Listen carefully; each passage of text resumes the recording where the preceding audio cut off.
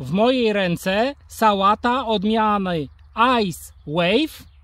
Jest to sałata lodowa.